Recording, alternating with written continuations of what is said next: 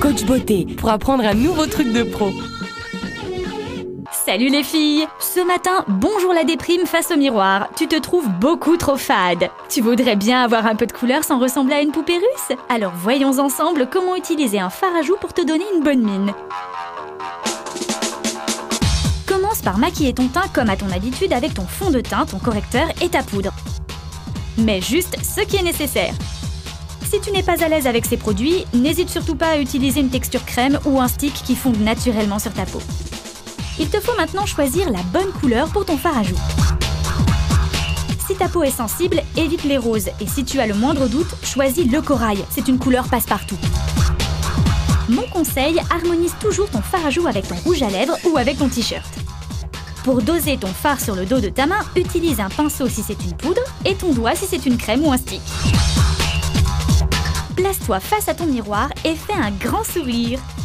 Trop facile, tes pommettes se dessinent naturellement.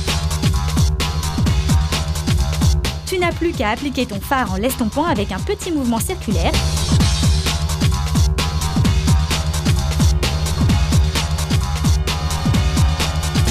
Ajoute ensuite une couleur claire sur toute la paupière mobile sans dépasser le creux interne de l'œil.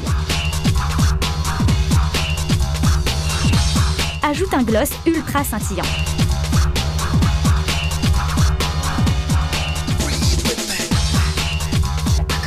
Et bonjour ta nouvelle mine radieuse Reprenons ensemble les étapes importantes. Choisis la couleur et la texture de ton fard. Fais un grand sourire devant ton miroir. Et enfin, applique ton fard à joues en l'estompant par petits mouvements circulaires. Miroir, mon beau miroir, dis-moi qui a la meilleure mine aujourd'hui? Évidemment, c'est toi. À toi de jouer